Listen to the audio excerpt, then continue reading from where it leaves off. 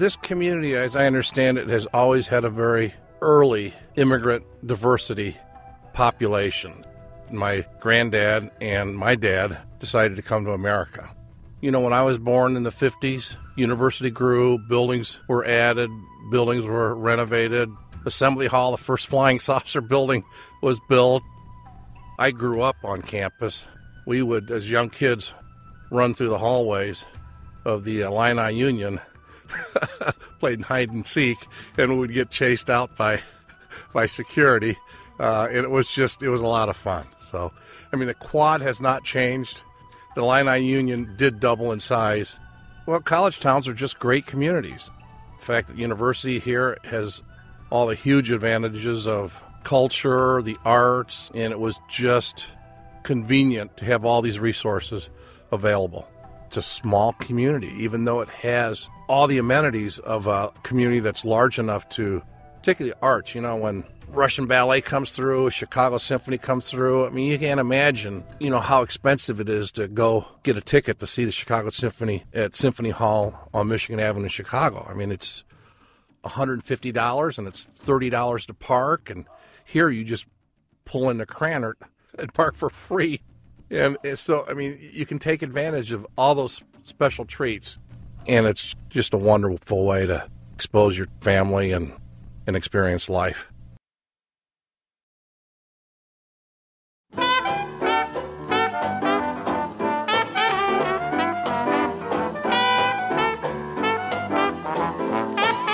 I finished U of I in 37, and I didn't want to live anyplace else. I wanted to prove that I could find a decent job in Champaign. I could find a job comparable to the education I'd received at the university.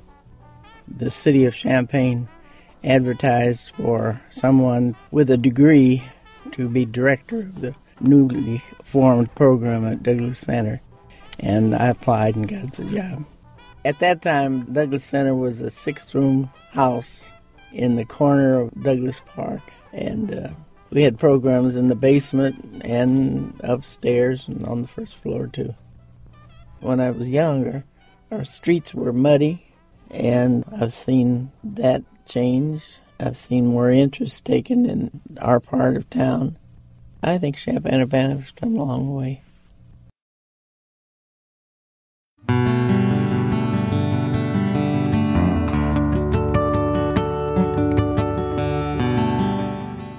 Nineteen sixty-seven was a time where the civil rights movement was very active, where Vietnam War protests were going on.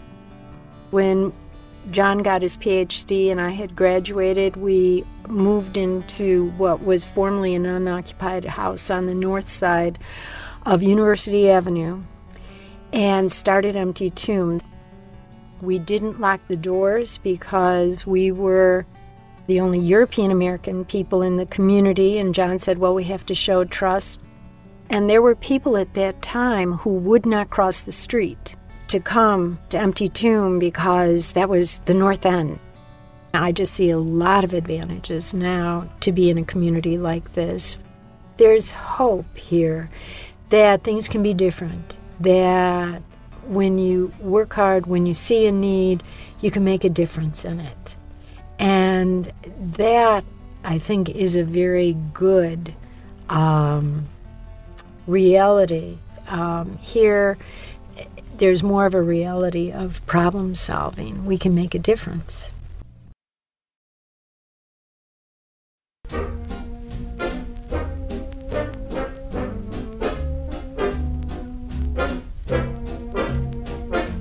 The boneyard used to flood down on 4th Street and Green Street, and it's been built into a park like setting, which is really nice.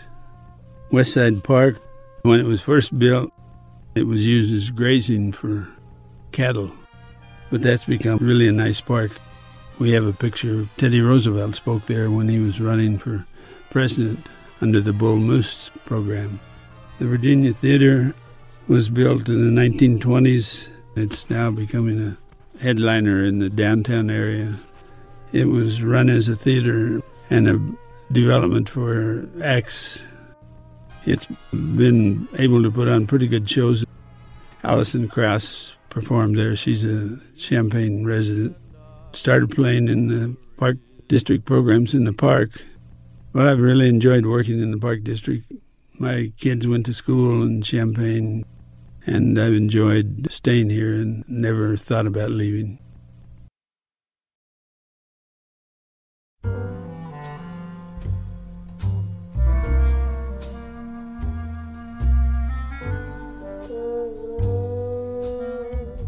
I came from a small town down in Knoxville, Tennessee. And when I came to Champaign, there was so much activity here with the University of Illinois and all the other things that were going on. The University of Illinois, we really had three communities here. You had Champaign, you had Urbana, you had the University of Illinois. I think it was just designed for me to be here. A gentleman up here in Champaign by the name of Wardell Jackson owned the Birmingham Black Barons, the Philadelphia Stars, and the Champaign Eagles. So when the season ended, he called and said, Will you come up to Champaign? He said, I'll put you up in an apartment, pay all your bills and everything, but I want you to start for me pitching up here the next year. So that's how I got here. The city of Champaign and Urbana uh, did a proclamation to honor the two players that we have here in Champaign, Urbana. That's myself and a gentleman by the name of uh, uh, J.W. Pirtle. People from all walks of life showed up because that's a history that we need to keep alive. Champaign, Urbana had a lot to do with that history. Satchel Paige, one of the best known Negro League players, came right here to Champaign Urbana, and it's a lot of history. Matter of fact, a lot of the teams wound up staying here. The league ended here.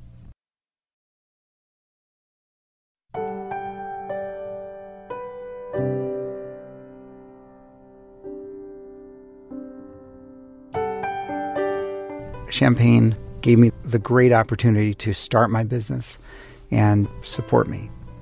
I saw beauty in central Illinois and I wanted to photograph it. And the only way to do that is to do it myself. I like photographing different spots in, in Champaign. For example, uh, University and Prospect.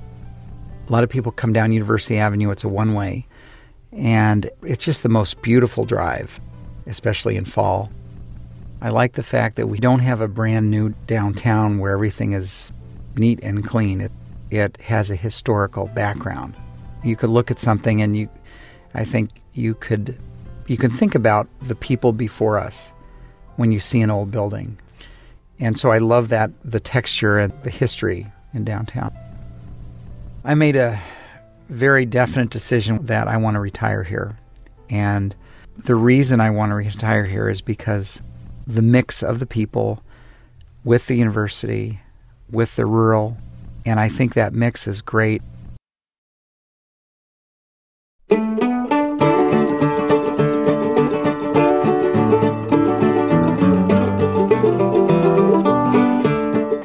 I enjoy growing up in Champaign. My parents took us to a lot of the free concerts in the park. I loved Krannert Center. We went to the Brown Bag Munch concerts at Krannert, and you go run around backstage and and in the different levels of the, where they were building the sets, sit in the audience and watch rehearsals. I loved all that. When I listen to music, you know, it's Illinois that I see in my mind when I'm listening. Champaign offers a tremendous amount to the residents. I don't want it to change. It's a great place to grow up. I hope Krannert's bigger. I hope the cornfields come back, and uh, I hope the Jarling's uh, Custard Cup is still there. I have uh, very distinct uh, memories and ideas of, of what it's like. Such a great music town to grow up in.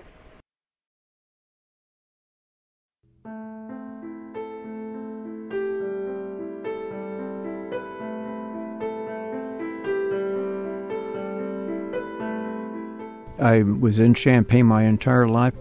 I think this is a wonderful community. I had always wanted to settle in a community that fit this mold that is a small community with with the amenity of a large university.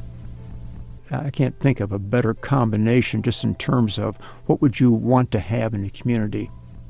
I would hope that as the years go by that it wouldn't lose that.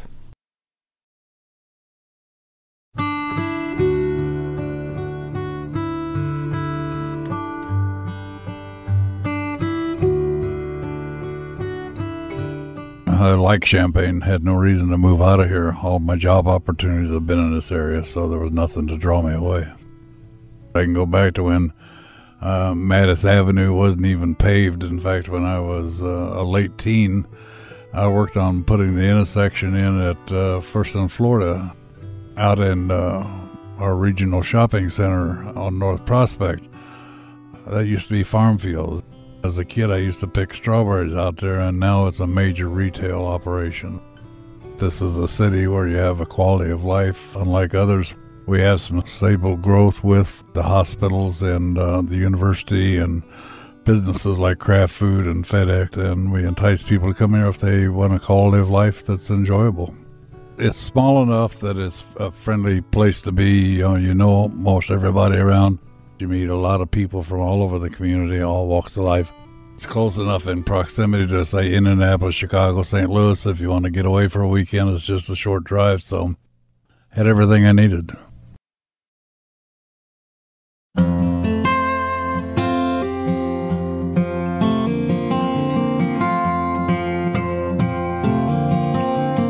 I moved here with my husband about 55 years ago.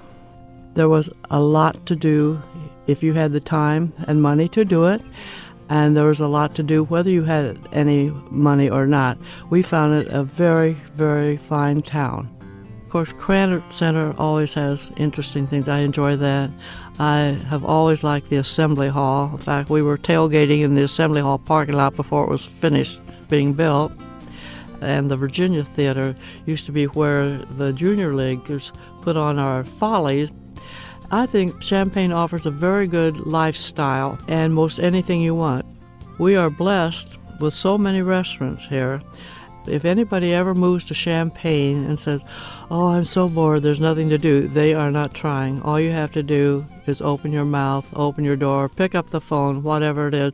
We are loaded with things to do. It's, it's really a bonanza here.